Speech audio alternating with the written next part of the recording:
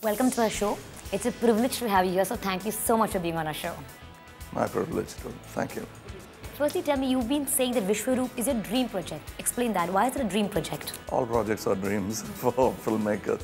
But this is uh, because it's, I'm trying to fit in a spy thriller kind of uh, genre into um, a, a realistic uh, environment. It starts with common, believable characters. It, could be everyday life, and then it blossoms into something big. It becomes Vishwaroop. It, you, you think your life has nothing to do with world terrorism, but it has.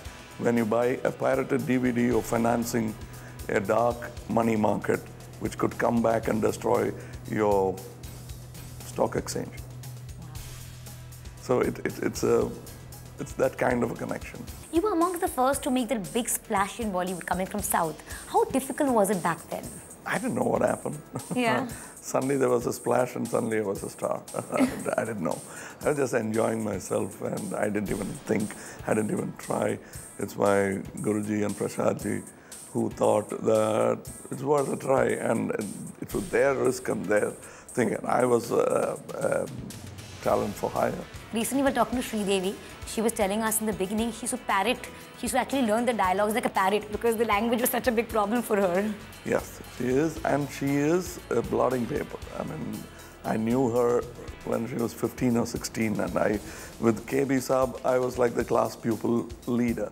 So I had all the bad qualities of a class pupil leader. I was a bully, and uh, she was even then was ready to learn and pick up and uh, it was like I used to bully her, trouble her and it's a, it's a strange journey. We've done 30, 30 odd films together. You've seen her whole journey, right? Yes. Yeah, yeah. Have you seen her comeback film? No, I English was to be in it. I refused. I said we'll do a film which is full-fledged. I'm not doing guest roles in your film. You know, you have this legendary kind of status. I really want to know how does Kamal Hassan, the person, stay grounded?